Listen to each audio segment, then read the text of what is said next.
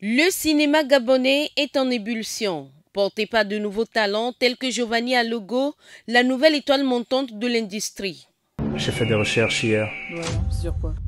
Sur les sirènes. Ce jeune réalisateur s'est illustré lors de la 28e édition du festival Écran Noir qui s'est tenu le 26 octobre dernier au Cameroun en remportant le prix de la meilleure image pour son film Mermaid de Retour des Abysses une reconnaissance prestigieuse qui met en lumière la qualité exceptionnelle de son travail. De base, c'était un court métrage qui de suite a failli devenir une série et qui s'est finalement transformé en film. Son long métrage a séduit le jury par son approche visuelle audacieuse et sa créativité.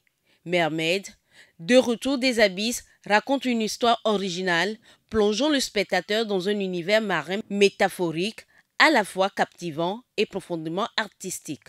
Cette approche novatrice a permis au film de se distinguer parmi une concurrence féroce. Le prix, euh, il parle par lui-même, c'est euh, la meilleure euh, image d'Afrique centrale. C'est-à-dire, j'ai eu la meilleure, les meilleurs cadres. Quand on parle d'image, il faut tout mélanger. Il y a l'image, il y a le cadrage, il y a l'étalonnage, il y a la, la, qualité, il y a tout ce qui est direction photo et tout le reste. Et mon film, était celui qui avait le, la meilleure qualité, en fait. Le festival Écran Noir 2024 marque un tournant pour le cinéma gabonais. C'est mon, mon, premier festival, euh, c'est ma première fois au Cameroun, euh, qu'il arrive ce qui va arriver. Voilà. Dans tous les cas, si je perds, c'est pas bien grave, moi j'aurais appris.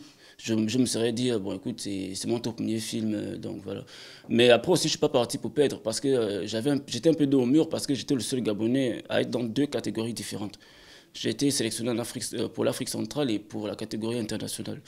Donc je ne pouvais pas me permettre de rentrer sans prix en fait. En plus du prix de la meilleure image décrochée par Giovanni Alogo, le Gabon a également remporté le prix de la meilleure série.